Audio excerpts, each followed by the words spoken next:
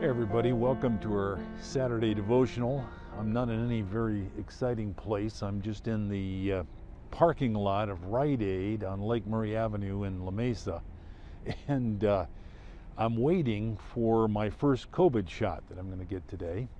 And so uh, I've been thinking a lot about that, of course, and how everybody's trying to get that and why we need those shots, which, of course, would be to hold off COVID 19 and try to stall that pandemic that we're all been experiencing now for over a year.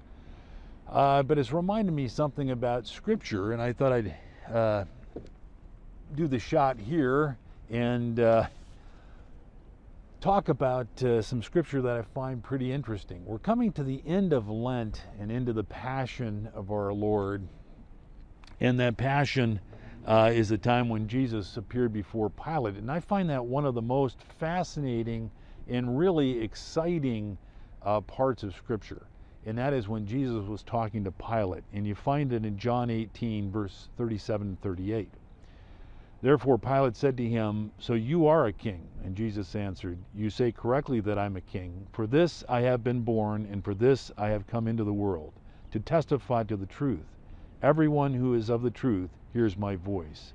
And Pilate said to him, what is truth? Wow, that's a great question. It's one of the things I find the most fascinating out of it. What is the truth? I mean, the truth of the matter is we need the COVID shot to stop the pandemic. But with Jesus, what's the truth? The truth is that his work st- stops and clears away sin and brings us back into relationship with God. He's kind of the vaccine that we need, you know, put it that way. And I'm not trying to simplify things, but to realize that the truth of the matter is no matter what our world says around us of what truth is, the truth is we're sinful by nature, we are separated from God, and we need Jesus Christ and His work and death on the cross to reunite us with God. And that's the key point. He is like this vaccine. We have a pandemic of sin, and yet when we get the vaccine of Christ, then we're protected from that. We're new creatures, as Paul wrote in 2 Corinthians, one of my favorite verses, chapter 5, verse 17, that we are uh, saved from that sin and reunited and become new creatures in Christ. And that's the process that we're in. That's what really what truth is. I don't care what else you hear out there, uh, but the real truth is this that the work of Christ matters.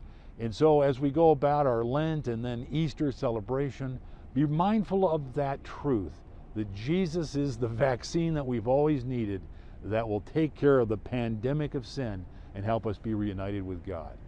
All right, well, I'm about to go in there and get my shot, and uh, so I'm going to be off. On, but I'm so glad you joined me today and to be thinking about that real truth. When Pilate said, What is truth? That's the answer. Christ. He's that vaccine. All right? And uh, I'll look forward to seeing you next Saturday.